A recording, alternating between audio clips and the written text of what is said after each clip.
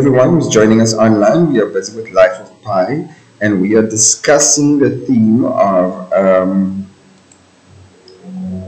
anthropomorphism. If they ask you to discuss anthropomorphism, let's write that down here. Anthropomorphism.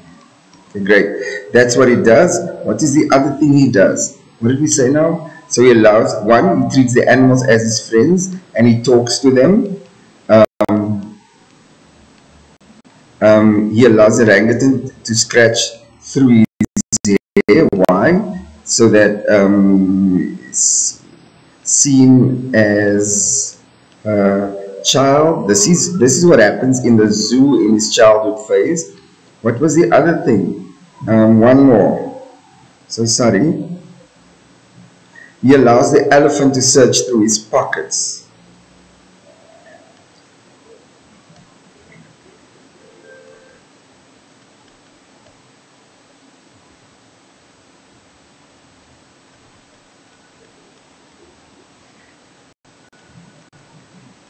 This is what he allows them to do. And so with anthropomorphism, what happens with that is we give the characteristics of humans to animals. Okay? Then let's let's move on. Um, there's a con a contradiction throughout the, the novel regarding Pi's tendency to anthropomorphize anthropomorphize animals. On the one hand, he keeps stressing their wildness and their biological features that distinguish them from humans, and on the other hand, he uses figurative language that suggests they have human characteristics. So, what is the contradiction? Um, um, he keeps stressing their wildness.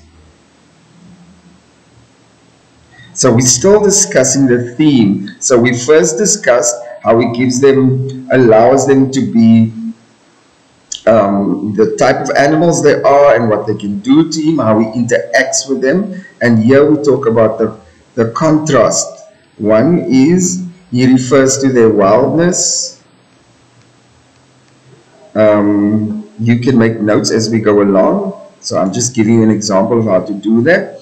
He refers to their wildness and their biological features that distinguish them from humans. And on the other hand, he uses figurative language to suggest they have human characteristics. So the contradiction is their wildness and their biological features. And then, then he uses figurative language um, to say that they are very similar to humans. For examples, for example, when describing his studies of the three-toed sloth, he says, I'm not one given to projecting human traits and listen, they can even give you this quote and say, discuss this particular throat, um, this particular um, uh, um, uh, this this quote, discuss this quote, and when they give you this quote, it means you now have to discuss the characteristics of the of the animals and and the contrast and how he relates to the animal so when they when he says i'm not one given to projecting human traits and emotions to animals but then ironically there's the irony you want to write that down it does just when it just it does just that when he describes the sloths as yogis deep in meditation of hermits deep in or hermits deep in prayer. So when he refers to the sloths, they are deep in meditation and um, or describes them as hermits uh, deep in prayer.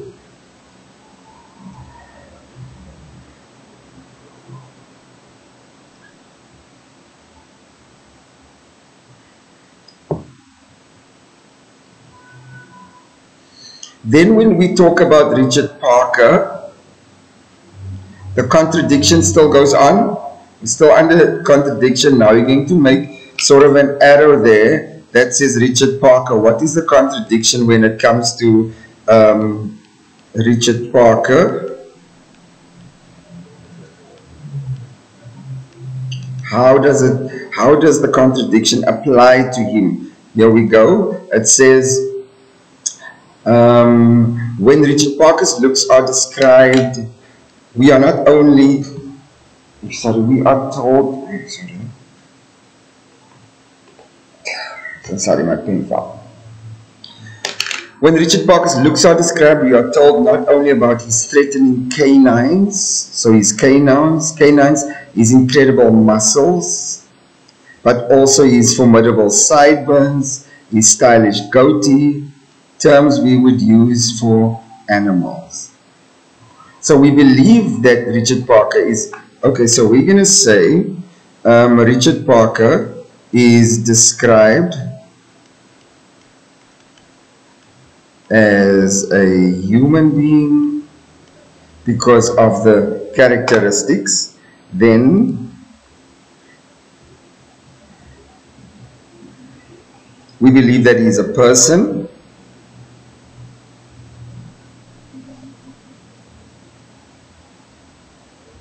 because of the pronouns he and him. How, how do we know, how, do we, how are we led to believe that he is a person? There's the pronouns he and him. Okay, then they're talking about um, Richard Parker. Where are we over here? They, they refer to him He's threatening, we are told, not only about, you want to write this down as another trait, he's threatening canines, his incredible muscles,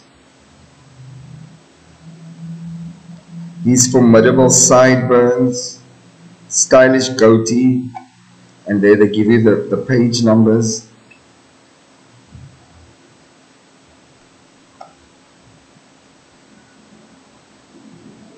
just go back here for you. So we're going to say is um, that his teeth threatening canines is um, what are we saying is incredible muscles this is how they enter or how they give this this this Richard Parker or this animal um, human characteristics they talk about his um, formidable sideburns, stylish goatee. Here we are. You've got that? Okay, great. So he has a goatee. Um, throughout uh, terms we would only use for humans, throughout the experience on the lifeboat, Pi is terrified of Richard Parker because he's a wild animal that can kill him. But contradictorily, he keeps talking to Richard Parker as if he were a person. Okay, that's good. So you can say, um, um, we, we said the goatee, and what else did we say? Um, he referred to his sideburns, eh? Burns. I'm just writing this down. You can elaborate on that. Um, they are what, are, what else are they saying? Um, Pi, Pi is afraid of him, but he keeps in contrast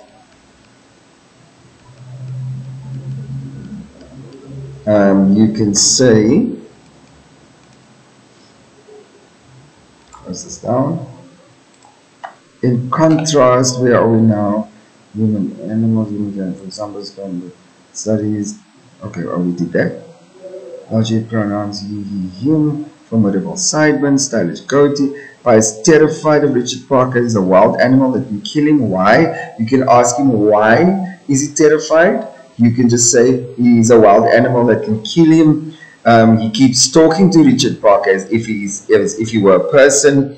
He even imagines the tiger's thoughts and gives him dialogue such as when they discuss all the food they must eating.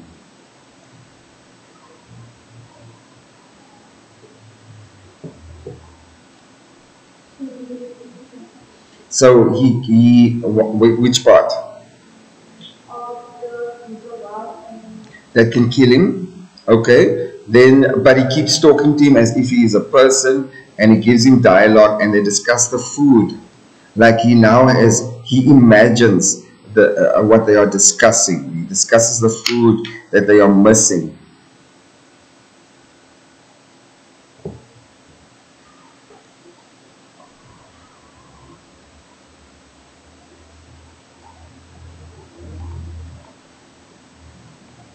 Okay, let, let's talk about the, the, the theme of anthro just up until now. We're just going to summarize a bit. Anthropomorphism. One, yeah, um, it's when we give, you're going to open that statement. If they ask you to discuss this, open that statement. It's, it's when we give characteristics, human characteristics to an animal. Then um, we, we're thinking that humans can, that, that animals can act as humans, okay?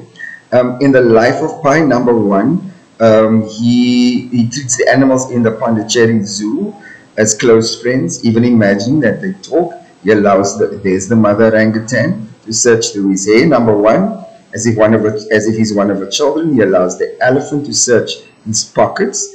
Then there's the contradiction through the novel, and this falls under anthropomorphism. Um, um, contradiction, Pi's tendency to anthropomorphize animals. On the one hand, he keeps stressing their wildness uh, and their biological features. Um, however, he uses figurative language uh, that suggests they have human characteristics. He, he says, I'm not one, of to, um, one to projecting human traits and emotions onto animals. But then, ironically, he does just that when he describes. So, when they give you this quote, they can give you this quote and say, discuss this quote in length. You're going to do this whole um, essay, really.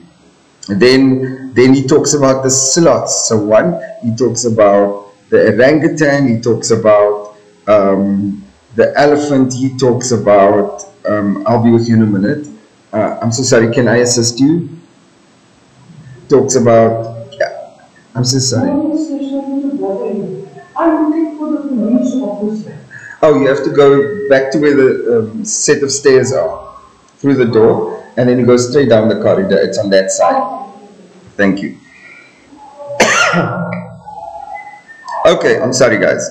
Um, so, so, so those are the animals he, he gives human characteristics to, and then you're going to explain why. Then they, they spend a bit of a bit more time on Richard Parker explaining the human characteristics that he gives him. One, he is saying that this animal has strong muscles, big muscles. Um, he's talking about his. Um, let's go back there so that we can have a look at what we just did. Um, he, he talks about his wildness. He's described as a human. We don't know that this is a, an animal he's talking about. He refers to that he uses pronouns for him, such as he and him. When he talks about in him, he talks about his threatening canines, his incredible muscles. So that's all human characteristics. He talks about his goatee. He talks about his sideburns. And so up until that point, we are um, almost led to believe that this is a human being he is talking about.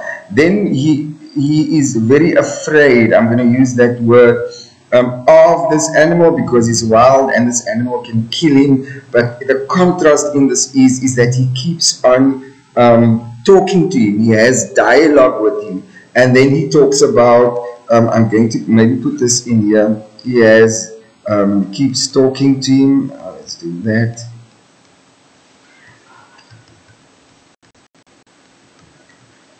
Um, to Richard Parker.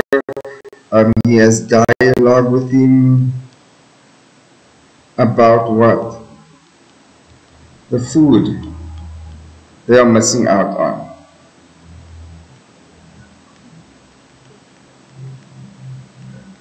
Okay, so so that's the, the discussions.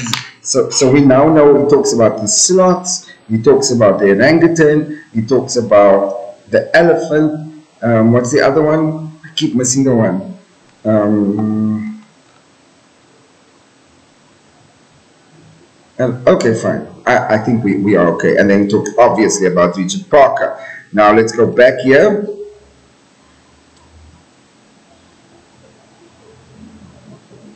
We did that.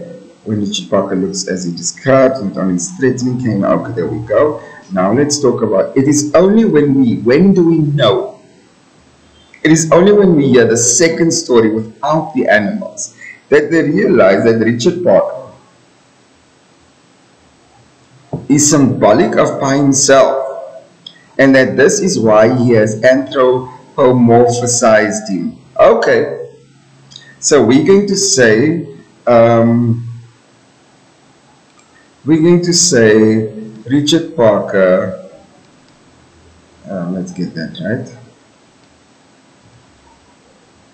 Richard Parker equals pi symbolizes pi in the second story.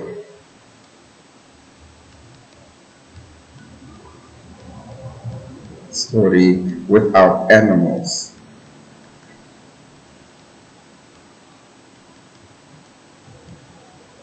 And how do we know that? Let's let's read on.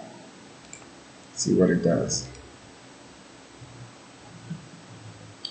And then this is this is why anthropomorphized. I don't know why they call it that. Okay, Pi places all the awful things he has had to do to survive. Okay, so why why does he anthropomorphize this animal? So because he places all the the evil things he needed to do he put places it now on this animal because he might have been the one to kill the other animals in in the um, in the lifeboat to survive. And then he kept on having discussions with himself. And he kept on training himself really disciplining himself to get through this. Now let's read what they are saying. For example in the first story it is not he who killed the blind Frenchman, it is Richard Parker. Write that down in the first story. It's not he who killed the blind Frenchman, and the Frenchman was um, was that the zebra. By laying the blame for the bestial things he had to do on a predatory onto a predatory wild animal, Pi protects himself from the horrors of which he is capable. Okay. Okay, fine. I think this is noteworthy. So in the second story, um, Pi anthropomorphized Richard Parker because of all the horrific things he needed to do to survive. In the first story, it is not he who killed the blind Frenchman, but it is Richard Parker by laying the blame on the bestial things or for the bestial things he had to do onto a predatory wild animal. Pi protects himself. So they can ask you how in the second story did Pi protect himself by laying the blame on a bestial um, uh, figure or figurative animal. Then um, this also shows us that humans are equally capable of savagery and cruelty, a very important point humans are also capable of savagery and cruelty. So we are actually now talking about um, the second story. Okay, so we are going to say Pi um, puts blame on RP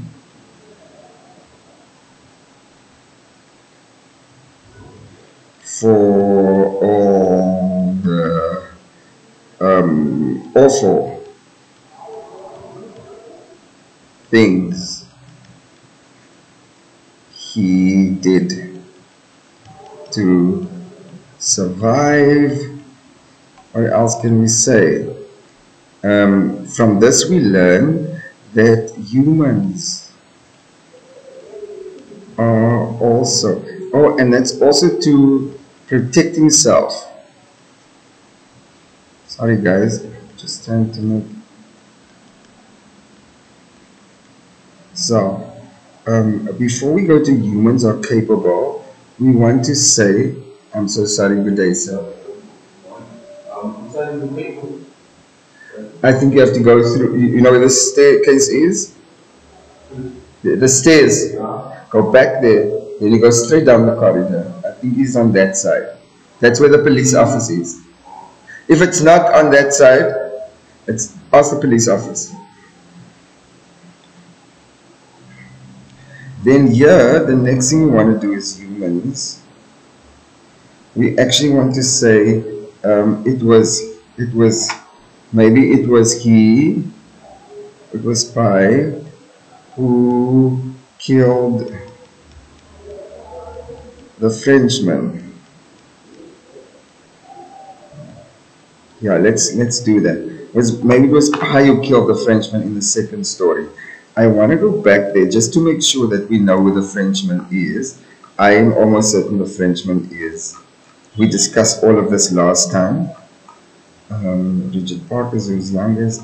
Found it. Let's have a look to see. Just checking your notes. I think the Frenchman is the zebra. For animals, here we go. Allegory, the color orange um, Richard Parker, religion, da, da, da, We discussed the, the color orange is very important. You can actually just, just go over this again. This is very important. What, what, what the color orange represents and everything else that represented the color, what it stood for and what it represented. Remember, it actually represented faith and survival. Um, where's the other thing? There's your number 10. Let's quickly have a look at this. Don't worry, we are doing well today. Then we, we also said here, oh, that humans, now we're going to go there um, by Langbees things that only predator one animal varus which is capable of. Humans and animals sometimes have to commit terrible deeds in order to stay alive. Humans are equally capable of savagery and cruelty. Both humans and animals are um, sometimes have to commit terrible deeds in order to stay alive. Okay, so we're gonna go. Um, let's do make the next page.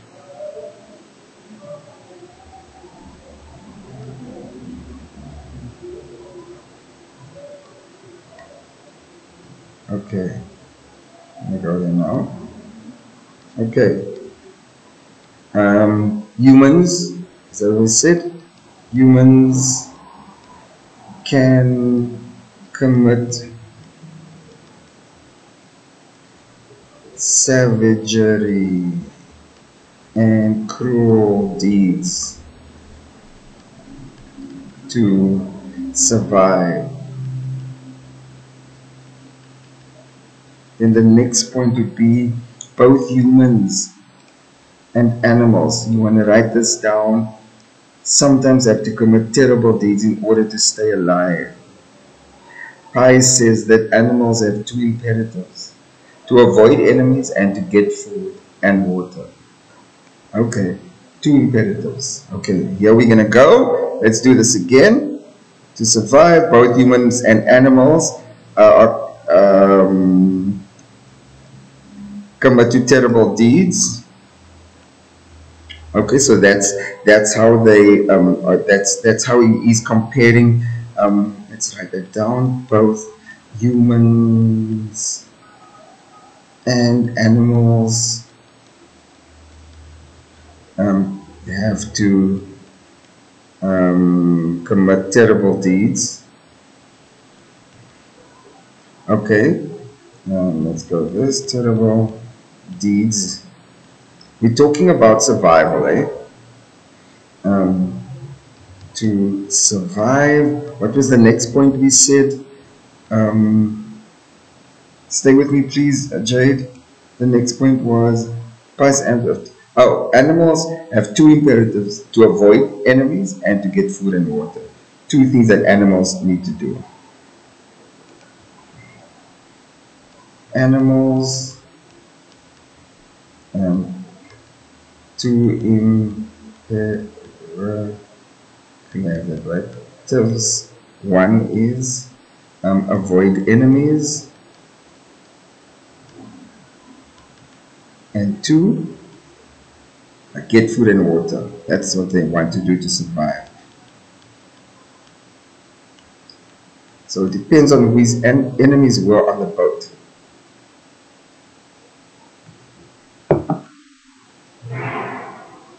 I hope it's all starting to make a bit more sense to you. On the lifeboat, this is the point to which Pi is stripped down. In the battle of survivals, humans have to become like animals. In the battle of survival, humans have to become like animals. Then you can write that down as well. Make it another point. So you can make points as we go as we go along. Now, there are clues in the first story that Richard Parker is actually pi. So we're going to say, how do we know that Richard Parker is pi? Let's do that. Just as a note. So, how, um, and I'm going to say in the first story, after, in retrospect really, after you look back, um, do we know? We are talking about, Uh, it's giving us clues that for me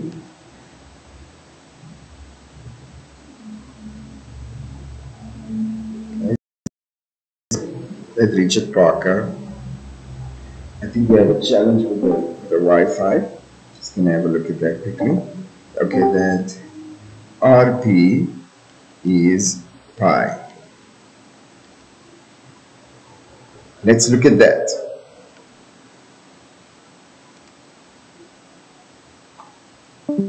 For example, Parker becomes constipated and only def, uh, def, what's that word, defecates once a month. Same as, the same as Pi does. Okay, so he's constipated, only goes out once a month, the same as Pi. At one point, Pi is so hungry that when he gobbles down the raw fish, he says, This noisy, frantic, frantic, unchewing wolfing down of mine was exactly the way Richard Parker ate. Okay, so they ate the same way, frantic, um, He only is constipated and Pi also only went out once a month. It's exactly what Richard Richard Parker did. So those are clues that tells us this is this is the deal.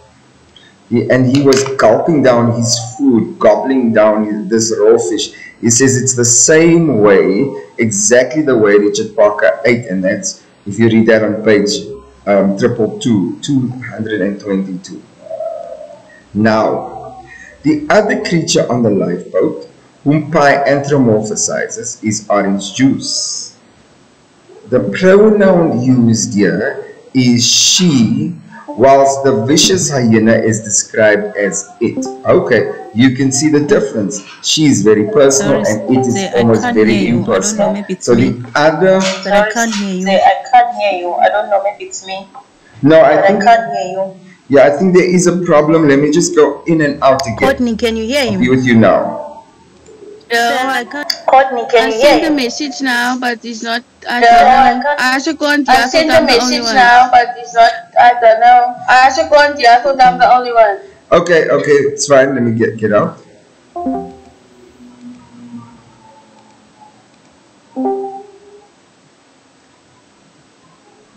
Yes, sir. Okay, can you guys hear me now?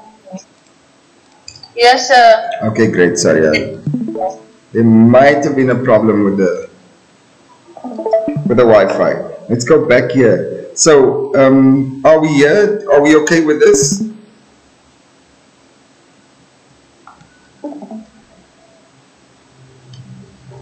Let's let's go back here. I'm going to go back here and, and then and then read it to you again. How do we know there are clues in the story that Parker is actually Richard Parker is actually Pi? For example, Parker becomes constipated. I think we've discussed that. Um, let's write that down. Um, RP becomes uh, constipated at labor. um, only defecates um, once a month, God never, and then um, oh, you can say the same as. That's a clue, and then the way they gobble food.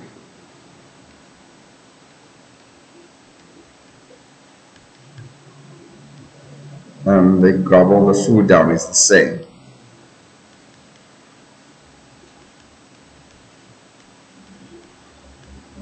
Go look at page, there we go, if you have the book with you. Um, now let's let's finish up. Let's go here. The other creature on the lifeboat is orange juice. Um, you can again see the theme of orange. Um, the other creature would be Sorry, sir, can you show orange us that juice. part a bit? Sorry, sir, can you Because we are already That's behind. that. Wait, maybe five minutes because I we're already. No, where are we now? I haven't written all You want to go back up? No, that part we haven't written all of Oh, oh, I see, I see. up. Want to go more? Yeah, where it becomes constipated. Is that yeah, okay? Yeah, when it becomes constipated. On that yeah. Becomes Okay. constipated. Yeah, there. Yeah. There we Thank go. you. On that part becomes constipated. Yeah, There, Yeah. Mm. Thank you.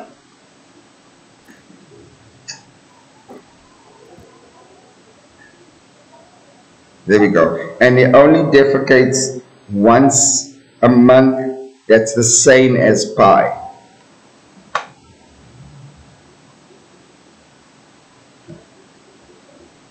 I'll just say the way they viciously gobble the food down. Again, um, vicious is with the U here. Okay, let's let's help myself.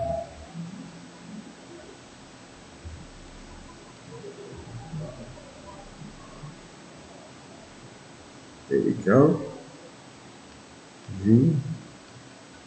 Viciously. The way they viciously gobble the food down. And that tells, gives us indication it's the same way in which pi ate. Then orange juice we know is the orangutan. Um, he refers, she gets a personal pronoun. Um, he ref- refers to her as she, whereas with the hyena, is this the French guy? Guys, please go and read this book or check this out. Um, he refers to it, to it as it, which doesn't make it that personal.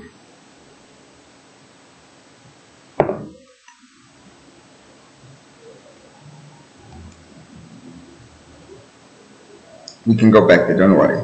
It's described as it. It is clear that Pi chose an orangutan to represent his mother precisely because biologically apes are the closest species to humans. Okay, so the orangut orangutan um, is um, relates to as his mother biologically.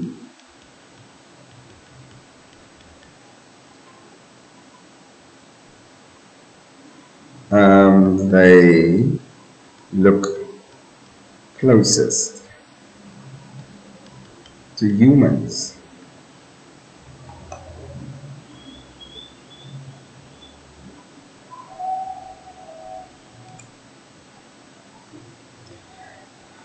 Okay, um, and then his mother's love and compassion kept her human on the lifeboat, and she never degenerated into a bestial state in the way that the, that the cook and Pi did. Okay, great. So, so she reminds him of his mother's love and compassion. Compassion. That's what you want to say. Uh, he kept her on the lifeboat. She never got into a bestial state. Okay, so we're going to talk about her as um, him of his mother's love and compassion. Um, um, she never degenerated, to say um, lowered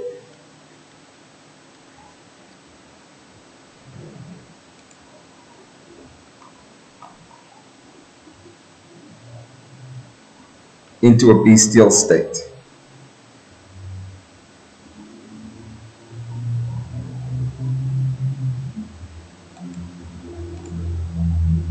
She never degenerated into a bestial state. Let's see. Okay, we have a bit of a challenge here.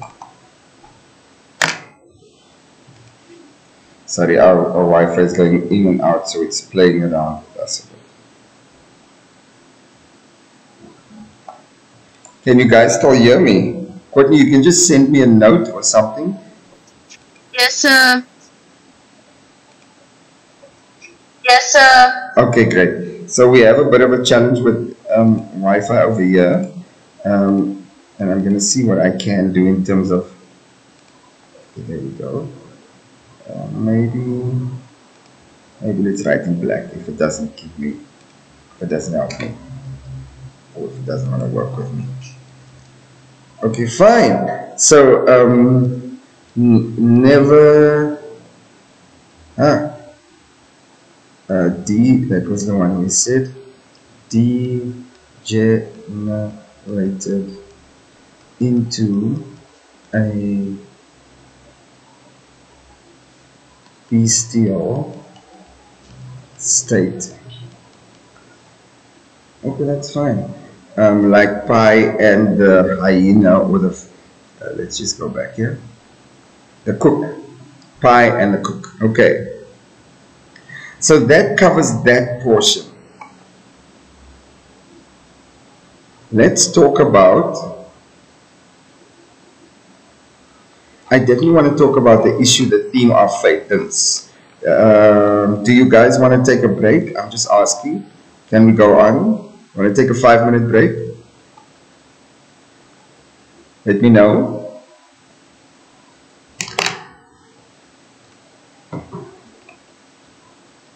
Can we can we go can we go on? Yes, sir. Yes, sir. Yes, sir. What is that? Yes to go what? Yes, sir. Yeah. yes. Should we go on? Yes to going on. Yeah, Okay. Yes to going Yes. on. Okay, let's do this. Let's let's talk about the, the theme of faith. Pious faith in God plays a significant role in helping him to survive. So remember your next topic that you are going to start with is the issue of faith. I'm going to clear this. Um, the next theme we're going to be discussing or believing God. Okay, so here we go. Let's see how many days was he adrift. I think that's important to note. They may ask you that in just a short question. 22, 20, uh, two, uh, 227 days adrift and starving on the lifeboat. Unlike some people who only turn to God when they are in need, here we go. Pi has always been sp- a spiritual, deeply spiritual person. From early childhood, he feels a connection with the divine, a connection that goes beyond religion and ritual. So um, he's always had a, um, been a deeply spiritual person. That's what you want to say. And you want to say from early childhood, he feels a connection to the divine or with the divine.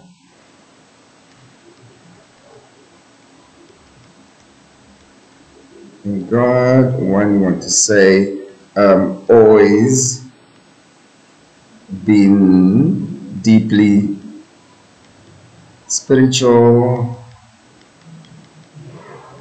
Remember, we're talking about Paya and um, from early childhood.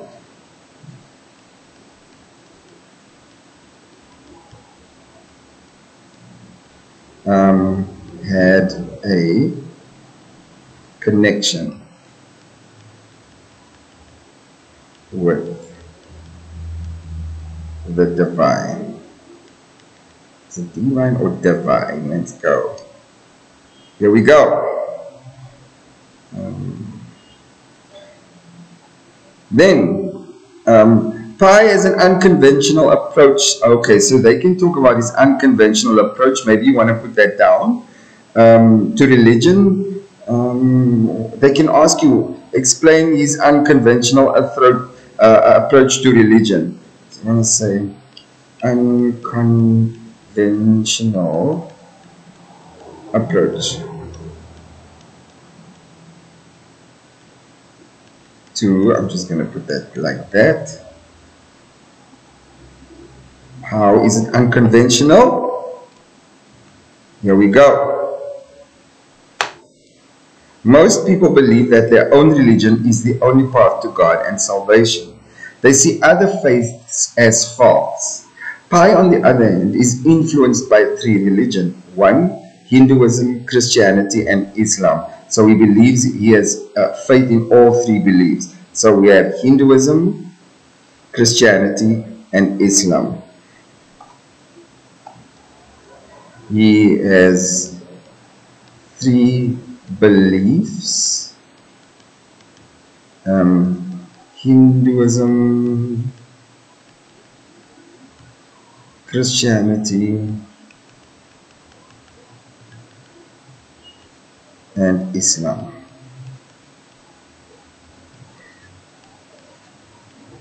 When you have that, you must always ask yourself how, how and why was he influenced um, like that? Or who influenced him like that? Is load shedding? How rude. Okay, we're going to go on um, because I am recording and they can always get the recording. So thank you so much. Let's quickly have a look at this. That means my um, the class won't be able to join me, but I can record for them. Um, let's quickly have a look at what they are saying next. Uh, okay, here we go. The, the, the, so we you can start off by saying he believes he has three beliefs or, or three sets of religion he believes in Hinduism, Christianity, and Islam. Then again, we're going to go up to the first line. Most people believe that their own their own religion is the only path to God. Okay, in salvation, they the other faiths are false. Pi, on the other hand, is influenced by three religions. So he does not believe that all the faiths or other faiths are false. When the three religious leaders of his faith, Pi calls them the three wise men. Okay, fine. Who does he refer to as, you want to write down three wise men? Challenge Pi to choose only one faith and living according to its precepts only. Pi responds, I just want to love God. Let's quickly have a look at that. Maybe I don't want to use that. Maybe I want to be here.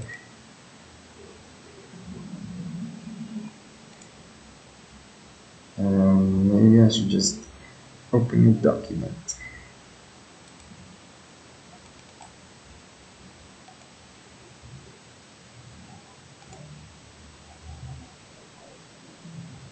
Sorry about this guys, we have load shedding. Um, are you guys still online?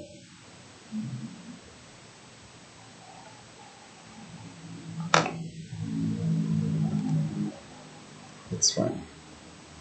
Um, they will catch up with us.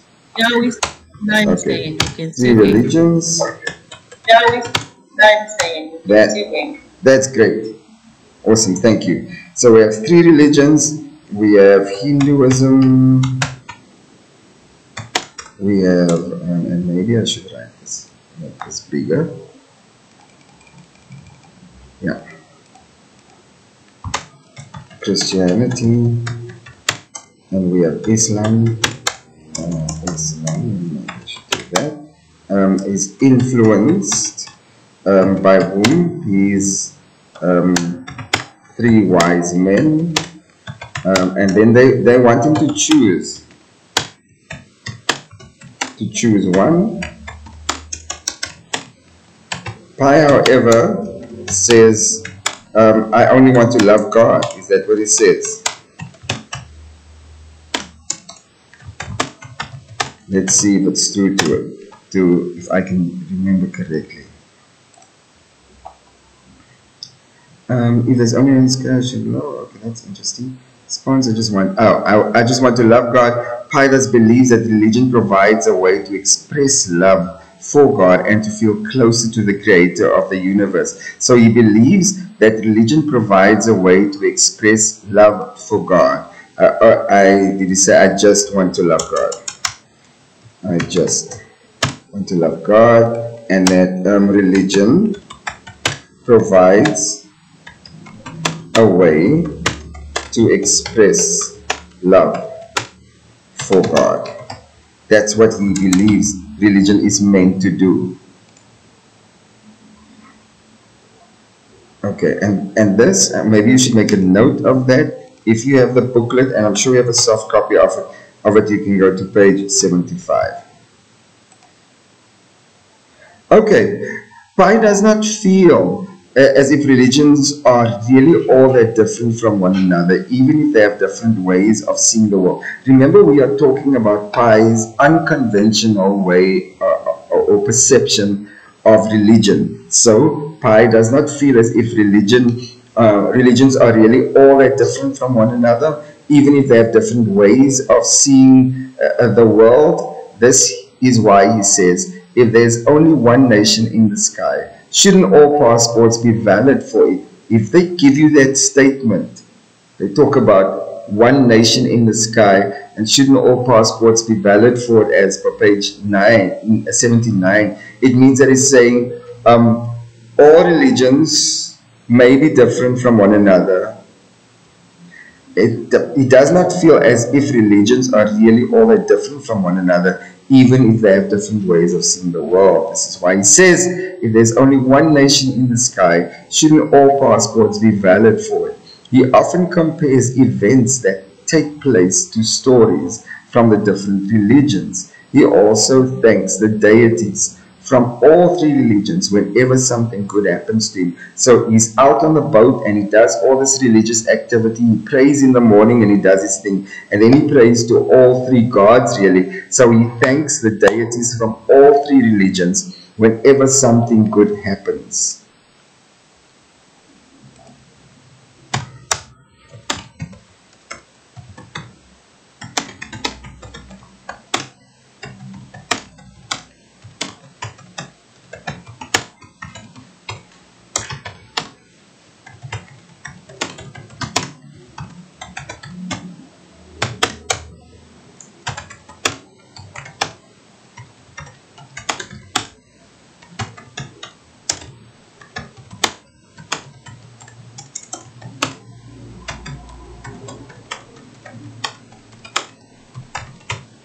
Okay. Often compares events that take place to stories from different religions. In other words, they are different stories, but they all have the same outcome, really. Let's talk about the issue of territory. I'm just giving you an overview, but it's important for you to actually go over this yourself again. You have this document, you can go over it. But I mean, this is really giving us a very, very good overview of what's happening in the book and especially the themes that they are discussing. Another one is the theme of territory. Let me, let me tell you how you need to answer and approach, I'm sorry, your questions. It doesn't matter what question they ask you. These facts will always be the same. They will, so they may ask you another thing, but you're going to talk about the color orange, you're going to talk about the orangutan, you're going to talk about Pi being able to survive. It was out there for 227 days, how he prays to his gods. If you can write the same thing over and over again with a different outcome because they have to mark facts. And once you put facts down there, every essay has the same facts really, but it's how you steer the essay to a point that really gives it its its flesh or validity. But in the interim, when you're to say um, he referred to the orangutan as his mother because she was so soft and she played with him um, with his hair while he was in the zoo, boom, boom, boom, that's three marks for your essay. You, you get that because those are facts. When you refer to, for instance, his religion, how did he survive out on the boat? You're going to refer to his religion, um, how he believed in God, how he practiced every day, and his three religions, and these three men that influenced him. Then you're going to say, how else did he survive? Oh, there was the color orange. Everything was orange on the boat. Blam, bam, bam, bam, bam, bam, bam. Then you're going to say things like, oh, you're going to mark the issue of territory in this instance. You're going to talk about how he gave each animal a different characteristic. Those are all marks, and that is what really gives your essay the weight it requires in order to get marks. Let's talk about how he marked territory in, in, um, in on the boat, and that was a very important thing to do in order for him to survive. The theme of territory. Let's go, and you can use the same um, method we used over here. Just see if it still allows me to write, because if the normally when I say oh I can't that, but this is going to give us a bit more. Um, give you guys a bit more clarity. We seem to be doing better on this pair on, on this document than over there.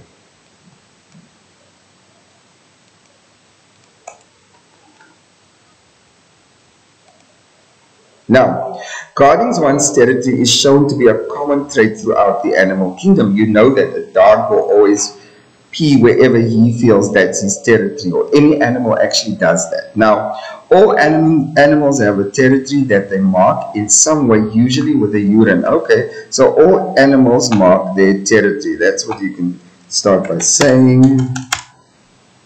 Um, and that's a mark.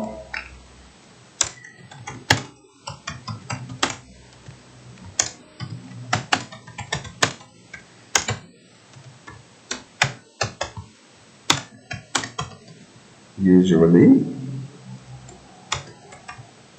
now by P, or if you want to say what they P. Now, um, the dominant or alpha animal usually has control over the boundaries and size of the territory. Like there's a don, uh, there's an alpha animal.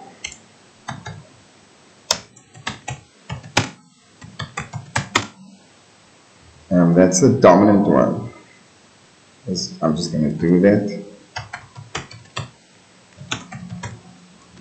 as the control. Um, number two, what, what are they saying? Oh, over what? Over boundaries and size of territory. As the control over boundaries and size.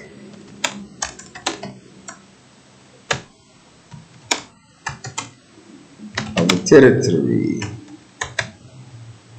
Territory. Okay, great. Then maybe I want to do this. Hold up. Give it a minute. Uh, maybe I want to do that here. And maybe let's do that. Oh, let's tab that. That's fine. Okay, next up. What are we saying? Um, one of Pi's arguments as to why animals in zoos are better off is that they do not have to defend their territories from predators as they as their cages become their territories. Okay, in zoos, their cages become their territories. We can do that. We can rewrite that in zoos. Um, the cages become their territories territories and they do not have to fight for it. Okay. Um, from predators as the cages become the territories. Okay Pi also describes human homes oh, as their territories which suggests that in this respect, humans are similar to animals. Okay, how are humans similar to animals? We're going to say um, human homes um, are their territories and in this aspect, animals are similar to humans. Let's do this one. Human homes audited. Okay, fine. I'm going to do that. And I'm going to do this.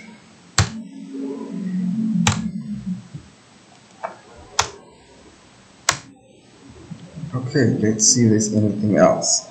Um, we are just building a case in terms of territory and what happened.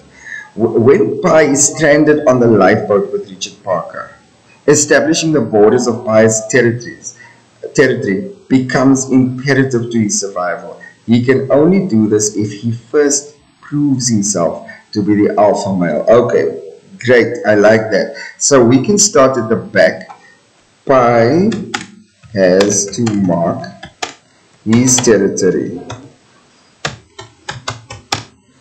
for territory in order to survive with this animal. But he first has to establish himself. I'm doing great summaries today. He first establishes as the alpha male. Alright, well, alpha animal. Because girls can be alpha animals too.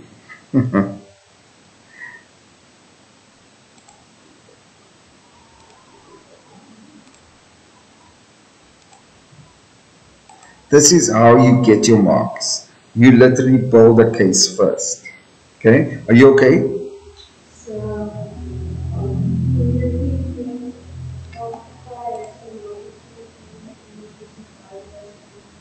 He first, however, he, however, let's do that.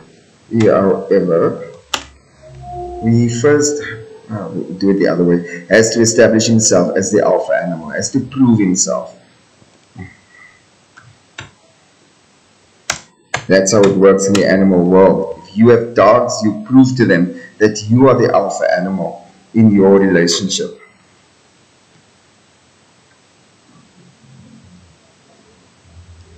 We can do that, mail if you want to.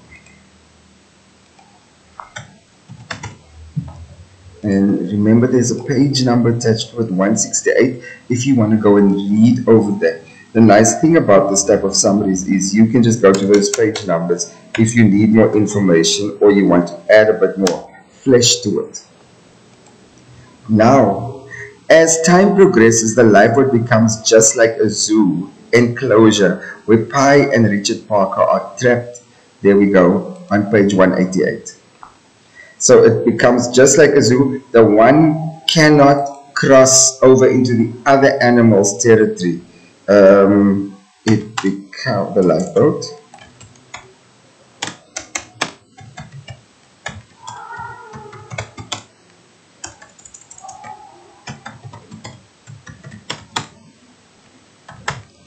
Zoo.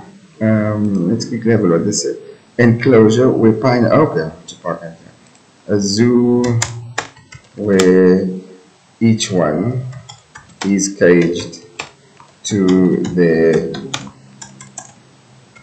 own space. Um, um, and then you can read about this. I think it's page, what did it say, 188 over here? Yeah, page 188 um, Pi uses whenever when so whenever Richard Parker or whenever Richard Parker tries to come over into his space, he'll blow up a whistle or he pees somewhere. It, that's the way. So so go and read about how he blows a whistle to mark territory and the. Let's see if this is.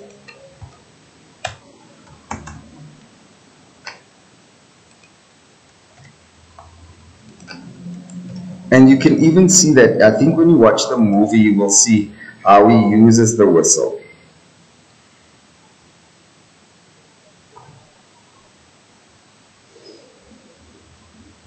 Okay, we, we still have a little bit of work to do. I'm really happy with that. But I think this is also important for you to note. Um, and this would possibly be the end of where we're going to. So one of the, maybe two more things that we need to discuss, and I mean, that's very easy, is the one is the survival and the will to survive. Um, yeah, this table shows what Pi does to survive, okay? He, adapt, he adapts to his surroundings. Don't, don't worry, don't start writing about this because we're going to finish off. But I'm just using this as an example and then we can come back and discuss this whole thing again. You remember valuable lessons. Um, he, he, for instance, Pi's father teaches them the lesson that a wild animal is dangerous. He does this to ensure their survival. Um, the, his will to hold on to hope, and then tells us what's happening. Do not give up the will to love, except you have nothing to lose. Um, for instance, here when Pi realizes Richard Park is on the boat, he finds the courage to look for supplies, knowing that, that he is no match for the tiger. The, the nice thing about the summary is you can go to those pages if you haven't read the whole book yet, but these particular pages will show to you or maybe point out to you where to go look for those details. Um, you have to stay active. You have to depend on yourself. Do not rely on outside help. Look for positives. Do not count the days. Go one step at a time. Keep your sense of humor. Compete to survive. Hold on to your faith. Okay, so if you go to this one, for instance, hold on to your faith. Faith is linked to Pi's will to survive. He prays five times a day and maintains as many religious rituals as he can while on the lifeboat. Each time he catches a sea creature, he thanks God for it and he prays for its soul. He tells himself, So long as God is with me, I will not die. So, so you hold on to your faith, and then again on page 148, they give you this particular um, um, example. Um, that's that's about it, and I mean we can we will go through this particular section. We'll need one more class for that, and then we will exactly tell you who's who, who's the protagonist. Um, here we go, and they give you characteristics of pi. Here's the adult pi. Here's the author. Here's his teachers. Satish Kumar, his biology his biology teacher. Um, he's a polio, polio survivor. He's odd looking, triangle, triangle shaped body, scientific. He's an atheist. Then there is um, his father was also his teacher. He's a Catholic priest. Uh, he loves in Munnar. He's kind and he is religious. He's religious. Sorry, this is Father Martin. Father Martin. Then there's Satish Kumar. You'll see a Satish Kumar over here, who's his biology teacher, two Kumars. And then there's Satish Kumar, which is the Muslim Suf, um, Sufi, is the baker. Um, then there's the Hindu Pandit, Patel's family spiritual leader. He was offended. Okay. Then you will see this is what his family looks like. Santosh Patel, by his father, was a zoo owner. He dies in 1977 when the ship sinks. He's cautious, not religious. He's modern, but he's firm. Gita Patel is by his mother. She's killed by the cook on the lifeboat. Um, she's a book lover, calm, loving, gentle, but firm and courageous. Listen, if if you need to, if at this point you need to um, pause the video to just look at this particular page and make your notes, please do that. Then there's Ravi, Pi's older brother.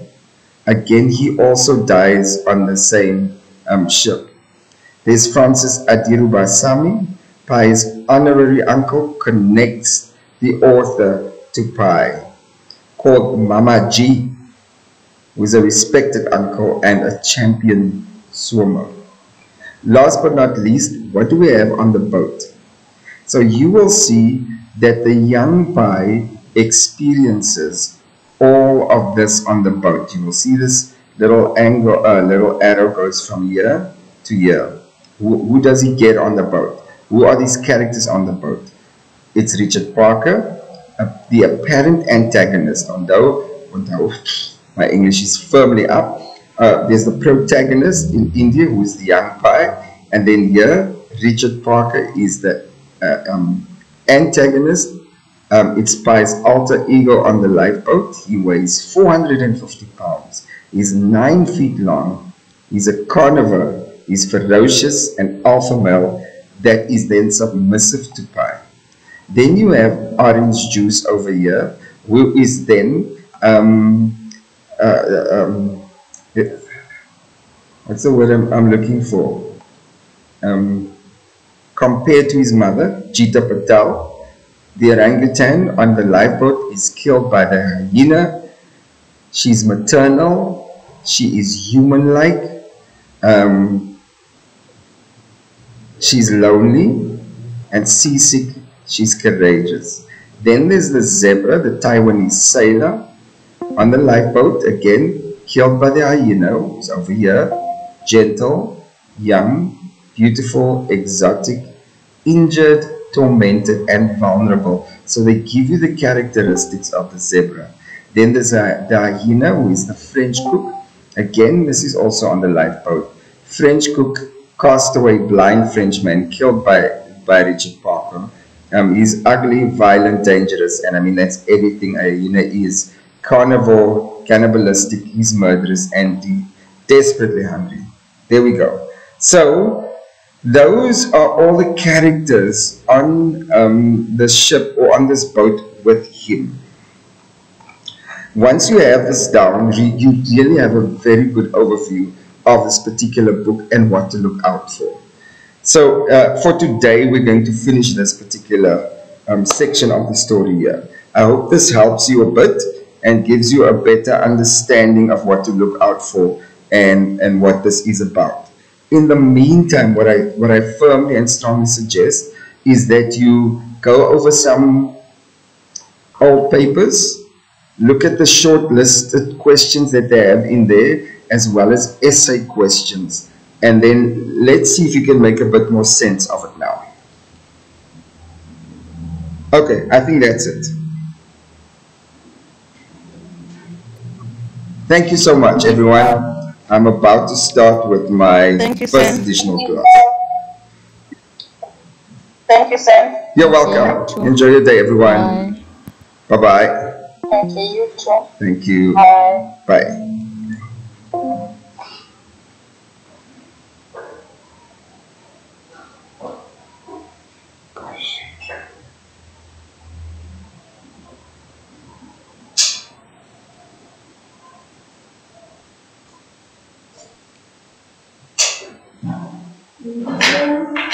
Thank you. I hope it helped you a bit. Please go over the work.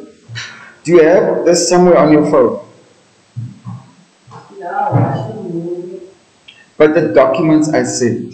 Yes, sir, but I'm not in the computer. The air is not nothing, nothing. But then your mother's sitting with it. Do you speak to your mother? Yes, but she didn't tell me, and she told me last night she missed it, but, uh, But the, the documents are on a phone. The stuff that I'm working through, I sent on the group. Do you have an email? Do you have a laptop at home? no. Oh my word. I'm so sorry.